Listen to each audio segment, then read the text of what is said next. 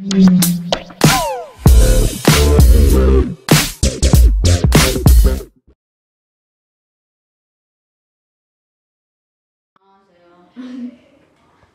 저는 공터에 다니는 김분수입니다.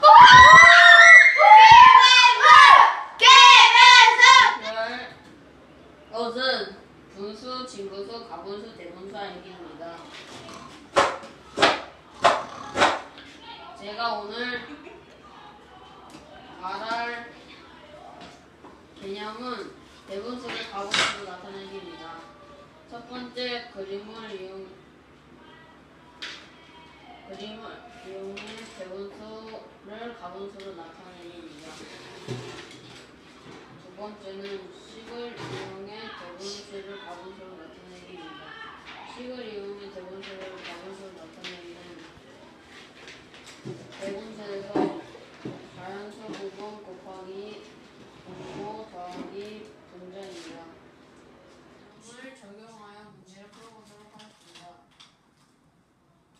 문제는 부모가 7인 어떤 가분수를 대분수로 나타내었더니 자연수가 2이고 분자가 3이었습니다.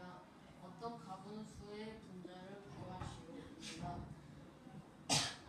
우선은 부모가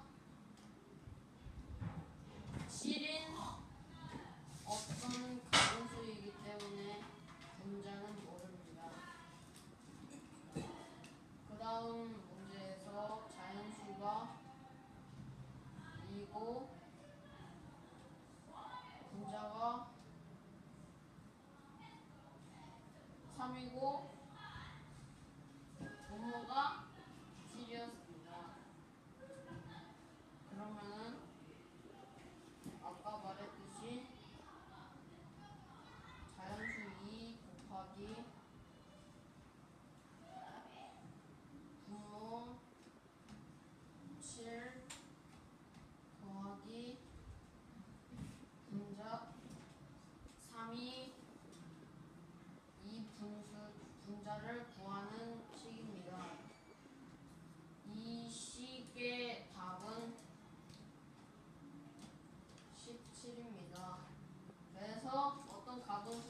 문자는 17입니다.